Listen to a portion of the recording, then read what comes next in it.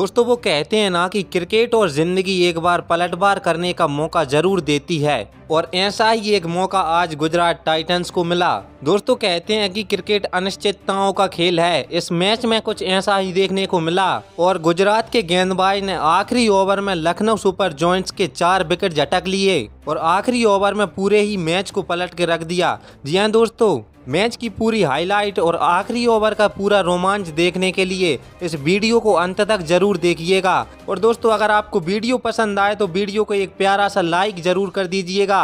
और चैनल को सब्सक्राइब ज़रूर कर लीजिएगा, क्योंकि ऐसी ही क्रिकेट की धमाकेदार वीडियो आपके लिए हम लाते रहेंगे। तो दोस्तों, चलिए आज की इस हाईलाइट वीडियो की शुरुआत करते हैं। दोस्तों, आईपीएल 2023 का तीसवा मुकाबला लखनऊ सुपर जॉइंट्स और गुजरात टाइटंस के बीच लखनऊ के एकाना स्टेडियम में खेला गया। दोस्तों, मैच की शुरुआत यहाँ से होती है जब गुजरात टाइटंस के कप्तान हार्दिक पांड्या ने पहले टॉस जीतकर पहले बल्लेबाजी करने का फैसला किया। दोस्तों, गुजरात की पारी का आगाज़ करने के लिए हर बार की तरह इस बार भी रिद्धिमान साहा और सुमन गिल आते हैं। दोनों ही बल्लेबाज अपनी टीम के लिए एक शानदार शुरुआत देना चाहते थे।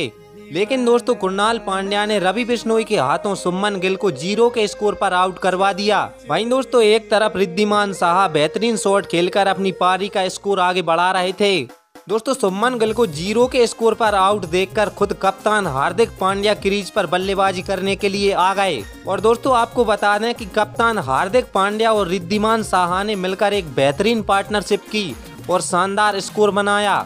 दोस्तों अपनी इस पारी में हार्दिक पांड्या ने चार छक्के और दो शानदार चौकों की मदद से 50 गेंद में छियासठ रनों की शानदार पारी खेली। वहीं दोस्तों, ओपनर बल्लेबाज रिद्धिमान साहा ने भी सैतीस गेंद में सैतालीस रनों की पारी खेली। दोस्तों, आपको बता दें कि हार्दिक पांड्या की छियासठ रनों की पारी की बदौलत और रिद्धिमान साहा की सैतालीस रनों की पारी की बदौलत से गुजरात टाइटंस ने 20 ओवर में 145 रन बनाए, जिसमें गुजरात के बाकी के बल्लेबाजों ने मनोहर ने पाँच गेंद में तीन रन बनाए, वहीं विजय शंकर ने बारह गेंद में दस रन बनाए और डेविड मिलर ने बारह गेंद में छह रन बनाए। दोस्तों, राहुल तेवतिया ने दो गेंद में मात्र दो रन बनाए।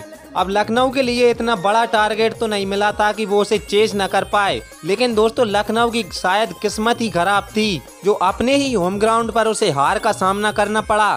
दोस्तों, लखनऊ की तरफ़ से कप्तान केएल राहुल और कायल मार्स पारी का आगाज़ करने के लिए आते हैं। के राहुल शुरुआत से ही धीमी पारी खेल रहे थे। ऐसा लग रहा था कि के राहुल टी ट्वेंटी नहीं टेस्ट मैच खेल रहे हों। दोस्तों दोनों ही बल्लेबाज बल्लेबाजी कर रहे थे, तभी राशिद खान ने कायल मार्स को रन आउट कर दिया और कायल मार्स 19 गेंद में 24 रन बनाकर पवेलियन की ओर वापस चले गए। अब लखनऊ की पारी को संभालने के लिए कुणाल पांड्या आते हैं और कुणाल पांड्या भी कुछ खास नहीं कर पाते हैं। और कुणाल पांड्या तेईस गेंद में तेईस रन बनाकर पवेलियन की ओर वापस चले जाते हैं। दोस्तों, इसके बाद बल्लेबाजी करने के लिए आए निकोलस पूरन भी हार्दिक पांड्या के हाथों कैच आउट हो जाते हैं और सात गेंद में एक रन बनाकर पवेलियन चले जाते हैं। के राहुल पर ज़्यादा दबाव होने के कारण के राहुल बहुत धीमी पारी खेल रहे थे और दबाव के कारण मोहित शर्मा की गेंद पर जयदेव उनादकट के हाथों कैच आउट हो जाते हैं। दोस्तों, अब लखनऊ सुपर जॉइंट्स को जीतने के लिए एक ओवर में बारह रनों की ज़रूरत थी और क्रीज पर थे दीपक हुड्डा। दोस्तों, गुजरात की तरफ़ से आखिरी ओवर कराने के लिए आते हैं मोहित शर्मा। मोहित शर्मा ने दीपक हुड्डा के लिए पहली गेंद डाली और पहली ही गेंद पर दीपक हुड्डा ने दो रन भागकर पूरे कर लिए। दोस्तों, दो रन आने के बाद ऐसा लग रहा था कि लखनऊ सुपर जॉइंट्स इस मैच को आसानी से जीत लेगा। लेकिन होना तो कुछ और ही था। दोस्तों अगली ही गेंद पर दीपक हुड्डा दो रन के लिए भागे और राशिद खान ने उन्हें रन आउट कर दिया। दोस्तों अब बल्लेबाजी करने के लिए आते हैं मार्कस स्टोइनिस। मार्कस स्टोइनिस को मोहित शर्मा ने डेविड मिलर के हाथों कैच आउट करवा दिया और मैच का रोमांच और भी ज़्यादा बढ़ा दिया। और आयुष पदोनी को भी दो रन के चक्कर में रन आउट करवा दिया। और दोस्तों, इस तरह से मोहित शर्मा ने आखिरी ओवर में 12 रन बचा लिए और गुजरात टाइटंस को जीत दिलवा दी।